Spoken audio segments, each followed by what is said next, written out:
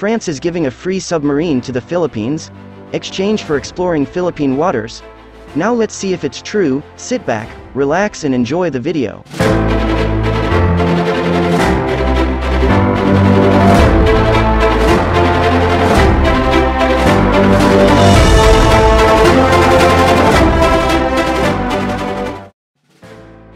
France has offered the Philippines two submarines in exchange for permission to explore the Southeast Asian nation's sovereign waters, according to reports on Tuesday. France offered to build two diesel-electric powered submarines for the Philippines based on the design and standard of the North Atlantic Treaty Organization in exchange for allowing it to explore the Philippines' vast sovereign waters. The proposal came as the Philippines MUL's continued modernization of its armed forces, the offer wasn't as easy as it looked because the Philippines and France have no mutual defense agreement.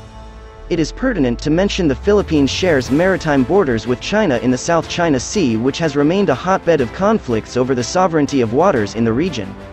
China claims most of the sea as its own, but the US, which Beijing accuses of provocations, and surrounding countries, including the Philippines, disagree.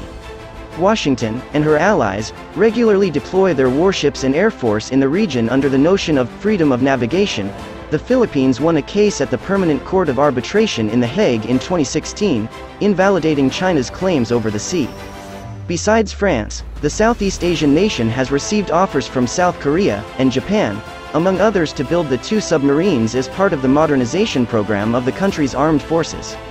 Manila adopted the AFP Modernization Act in 1995, aiming to shore up defense against external threats, which was amended in 2012 to extend the program for 15 more years.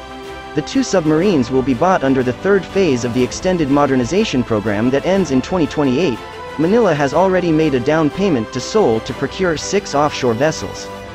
Thank you for watching Joenhel News Updates. I hope you subscribe after this video. This is a free way to help our channel. Thank you.